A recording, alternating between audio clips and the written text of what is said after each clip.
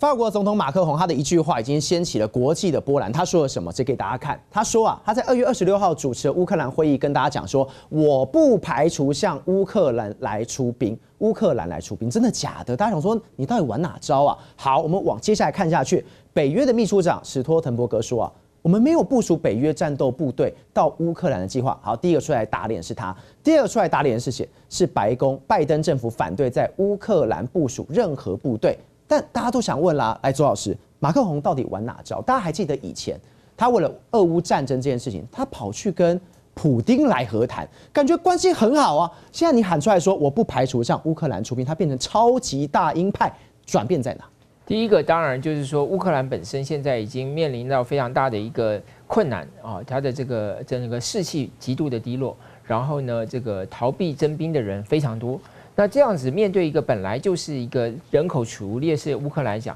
现在能不能把这场战争继续打下去，都成了一个大的问号。所以欧洲国家感觉到说，如果乌克兰倒了，那么下一个面临俄罗斯军事压力的就是欧洲国家。呃，所以为什么马克龙会有这样的说法？第二个就是他想要展现是他做他是欧洲的盟主啊，因为在这个呃梅克尔退休之后，现在马克龙是最有经验。又是大国，就是德法两国嘛。那德国的这个领袖是德国的领导人是比较年轻的、比较之前的，那他当然就承接起这样子一个责任。大家知道，现在此时此刻，这个呃，美国跟这个以色列也在巴黎。跟这个埃及啊、卡达在谈所谓的以巴的和谈方案，是那所以你看，巴黎是这么样重要的一个角色，他当然希望不只是以巴啦，在俄乌这个重大的问题上，他也有发言权。对，第三个，因为川普很有可能要回来，那么川普一旦回来，欧洲国家就要自己想办法保卫自己。那马克龙曾经主张过，说欧洲要建立自己的陆军，是呃，建立自己的军队。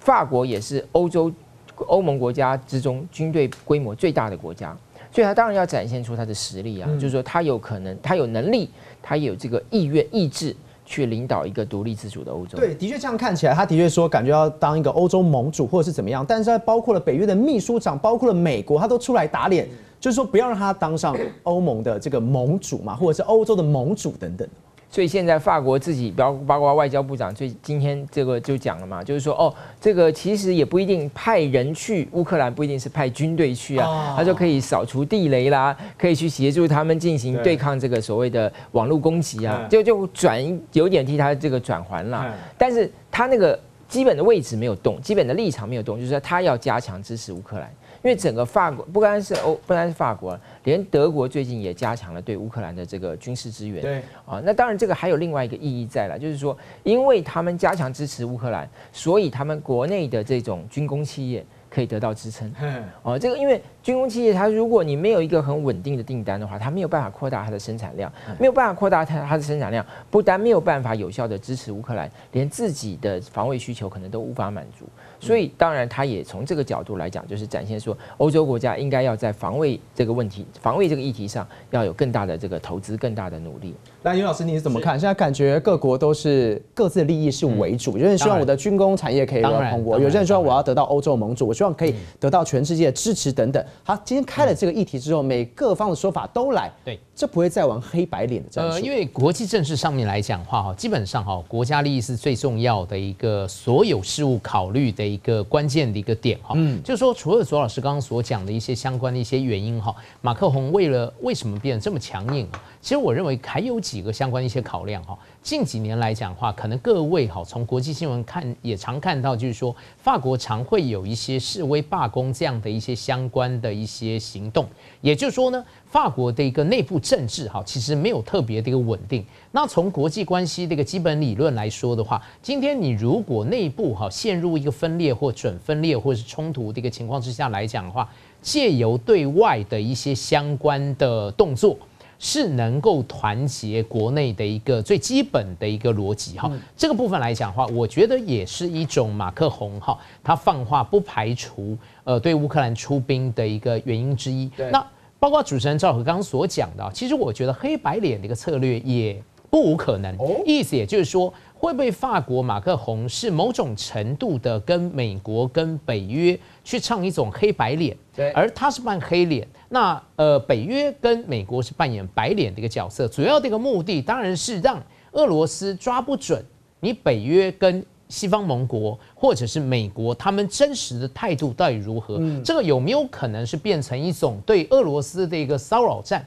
坦白讲哈，我们也不得而知啦。但就是说这样的一个操作来讲的话，其实马克宏没有把话说死嘛。就像刚刚我们也有讨论，他是说不排除对哦。呃，对乌克兰出兵，而且外交但就是说有帮忙出来讲话，不不排除的话哈，表示有可能，但是也有没有可能的一个情况。对，那所以我觉得他这样的一个论述哈，是讲的非常非常的弹性。但是呢，至少在这整个媒体焦点来讲的话，对于法国光荣的一个恢复，或者是对于他自己本身的一个。领导权威的一个加码，或者是强化在欧洲的一个领导地位，确实都有一定程度的一个利多。那但是呢，北约跟美国打脸，我觉得也也是在合理的一个考量之中哈。因为毕竟哈，美国希望能够主导这样的一个局面。今天如果美国跟呃北约国家派兵到乌克兰去进行一定程度增援来讲的话，那这个事情就大条了。对，那俄罗斯他会不会把这样的一个动作？视为一个准战争的一个行为，嗯，这个部分来讲话，你没有办法去测知嘛。那第二个来讲话，就是呢，呃，其实美国跟北约国家也很清楚了解，俄罗斯它不是纸老虎，哎，他撑了两年，他还是有相当程度的一个权力的一个基础。所以在这样的一个风险没有办法完全确立的一个情况之下来讲的话，我觉得美国也好，或者是北约秘书上先进行一定程度的一个风险管控，是在合理的一个范围之中了。其实在这次欧洲来说，一个很重要的新闻是在二月二十六号的时候，匈牙利国会哦，他投票批准让瑞典加入北约，成为了定局哈。那瑞典的总理克里斯特森就说，俄罗斯不会喜欢瑞典成为北约的成员国，当然，不然他为什么要去打乌克兰呢？哈。那另外呢，普丁当然也很气啊，他二月二十六马上签署了总统令，他把西部军区划分为莫斯科军区跟列宁格勒军区，而且他直接说，俄军的人数啊，军队人数三年。增至一百五十万。来，靖哥，你怎么看？普京他真的怒了？其实，普京啊，就是俄罗斯要征兵，在去年三月时就已经宣布，十二月又再宣布了一次。而这一次的话，就把将西部军区哦，这个划为这个莫斯科军区跟列宁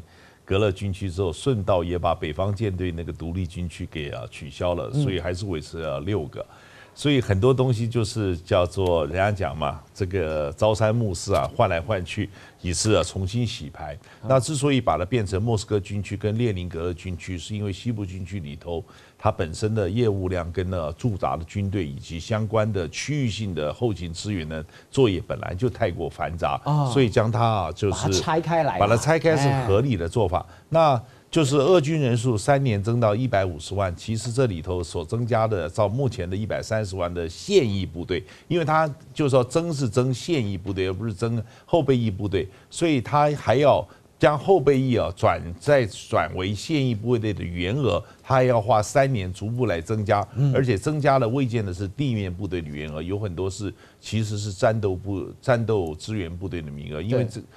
呃，严格上来讲，俄乌战争从二零一四年二月二十号这个入侵克里米亚而言，它不是这个，就是说撑了两年，它已经撑了十年。在这十年之中，他也学到很多的教训，就是他们原来战斗这个部队啊的比重啊太大，战斗资源呢这个部队的这个数量不足，所以他也做了是结构性的调整。所以我们不要光啊只看到量，而且要看到结构。那当然就是瑞典呢这一方面加入北约，是不是能够就是说造成他这个改变决心呢？我想基本上来讲，那个影响很少，因为瑞典并没有也在加入北约之后顺势增军或者增强国防。对，那他所面临的威胁程度其实并没有太大的改变。嗯，我把给大家看一下，大家想说瑞典怎么会加入北约呢？而且跟大家讲，瑞典它不是纸老虎啊。给大家看这《华尔街日报》写的哈，瑞典的全民防御政策为欧洲国家提供了榜样。什么叫榜样？它的职业军人其实没有这么多，但是它的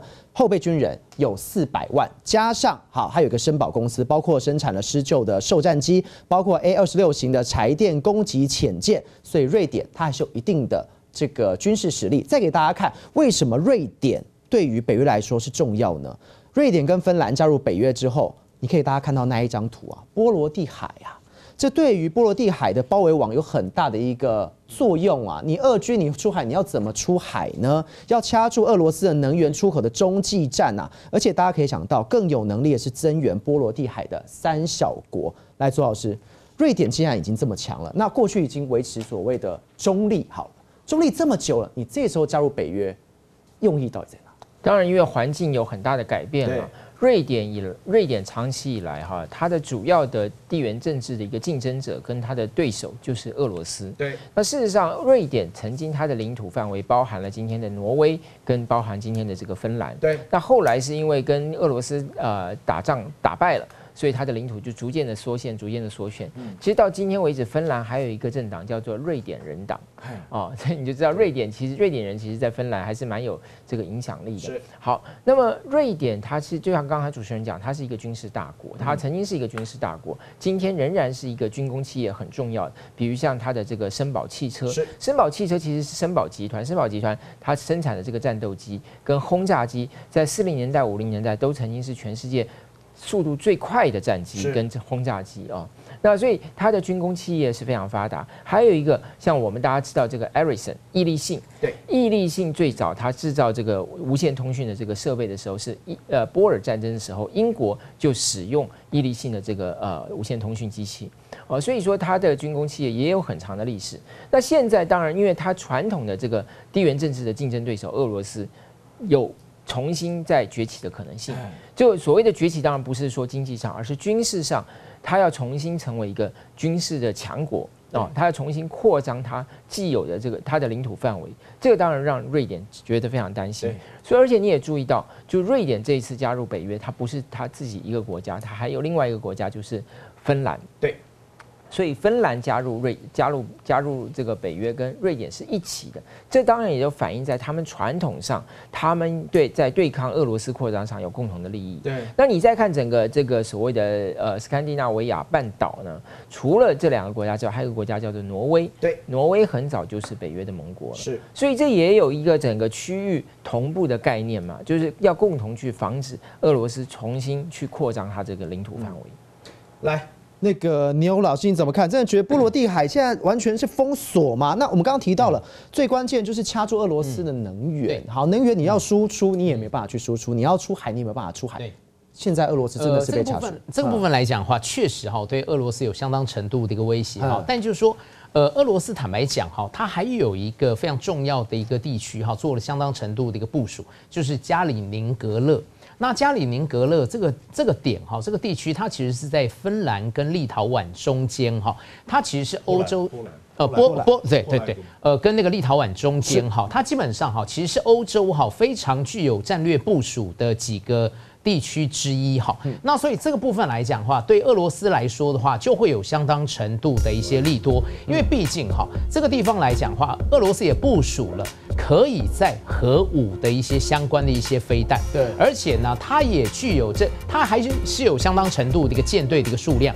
即便在呃冷战结束或者是乌俄战争过程中间，这个舰队的一个数量跟能量哈有比较下滑的一些相关的一些趋势，它确实还有水下作战的一些相关的一些能力，也能够借由火力资源哈去进进行一定程度的登陆作战。